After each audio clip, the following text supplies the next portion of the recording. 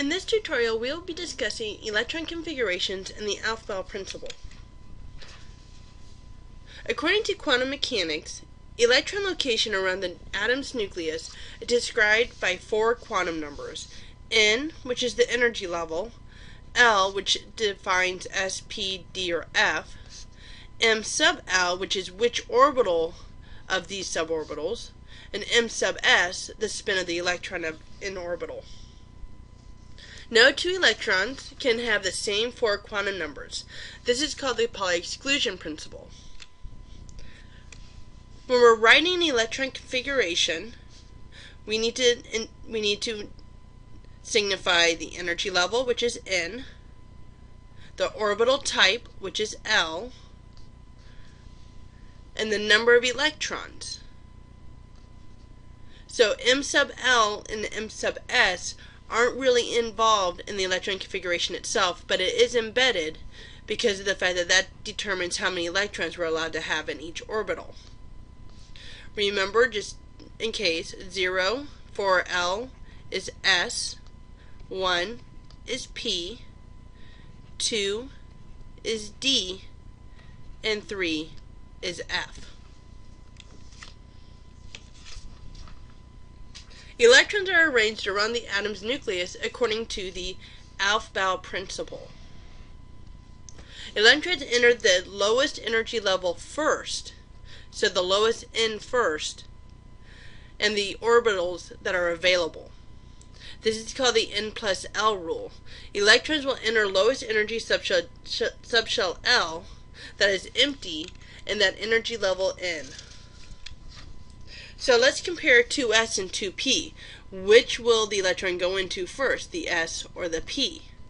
Well, if we do the n plus l rule, n is 2, and l for s is 0, so 2 plus 0 is 2.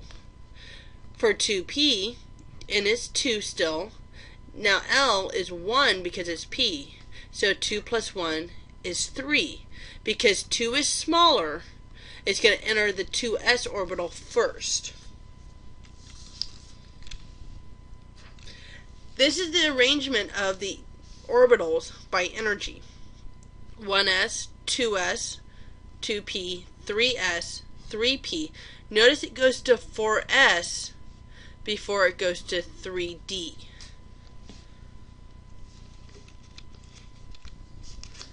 I'm going to show you another way to remember this rather than just remembering that chart or doing the n plus 1 rule, n plus l rule. Aufbau is German for the word build up. It's a pattern of, or, of orbital filling lower energy first. So first thing we're going to do is write down all our possibilities. So 1s2, and we're going to write them by energy level. So 2s2, 2p6, 3s2, 3p6, 3d10, 4S2, 4P6, 4D10, 4F14. Now we go to the fifth energy level.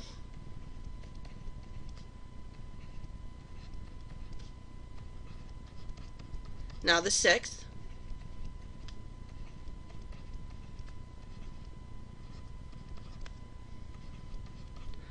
Once you get to F, Notice I didn't have another one out here. That's because there's not enough elements to actually constitute having those orbitals. And we're going to stop at 7. Because that's how many that's how many rows there are on the periodic table. Alright. Now draw arrows diagonally to determine where the electrons are added. So this is what I mean. Draw down. So notice it goes 2p6 then 3s2, then 3p6, it goes to 4s2, and then back up to 3d10, 4p6, 5s2. If we look at the chart we had before, 3p6, 4s2, then it goes back to 3d, and then it goes back to 4p, then 5s, which is what this is showing us and this is getting sloppy, but I wanted to make sure that you knew how to recreate this chart if you needed to. Alright, this is a better looking chart here. Notice once we get to F, yeah, there's other orbitals out here, but they're never going to be used, so we're not going to worry about it. And we can actually use this chart when we're trying to determine the electron configurations because this chart shows us where the electrons are going to go first because of the order of energy levels. So, write the electron configuration for lithium. First thing you want to do is look on the periodic table and find the atomic number. The atomic number is 3, which means that if it's a neutral atom, there's 3 electrons. I'm making sure you realize that if it's only if it's neutral. Because 3, the atomic number, don't forget, is the number of protons. So if it's neutral, the protons and electrons are going to equal each other. S's are always 2's maximum. P's are always a 6 maximum. And D's are always a 10 maximum. And F is always a 14. And that has to do with how many suborbitals there are. So P has three different orientations, so therefore each orientation has two electrons for a total of six. Alright, so we need to make sure that these little numbers here count up to three. So 1s2, we have two electrons taken care of, we need one more, so we go to the next line. 2s1. Even though I have room for two electrons, I only need one more. So that's why it ends in 2s1.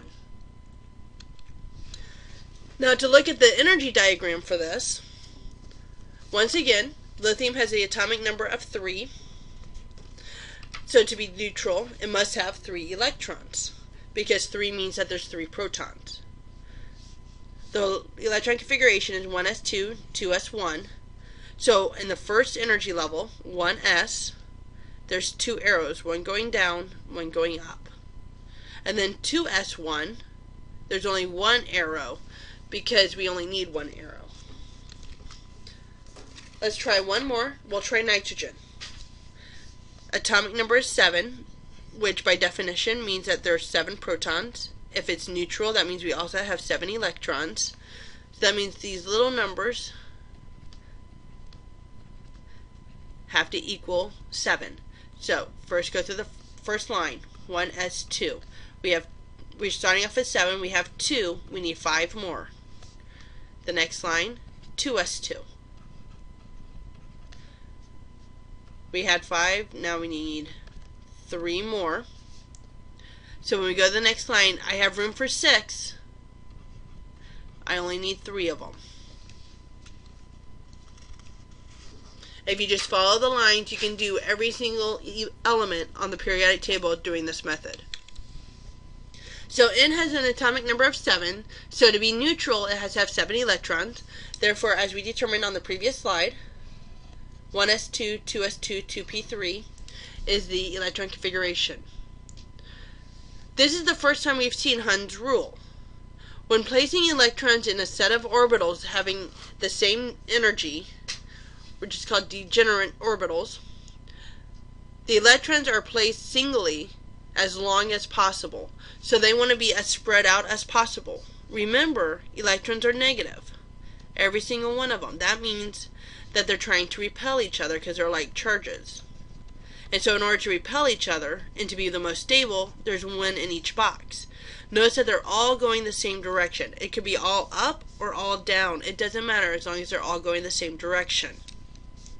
As the energy increases, it fills from bottom up. So in 1s, there's 2 electrons. In 2s, there's 2 electrons. In 2p, we only needed 3, so x, y, and z. And that gives you an, an explanation on how to finish electron configurations.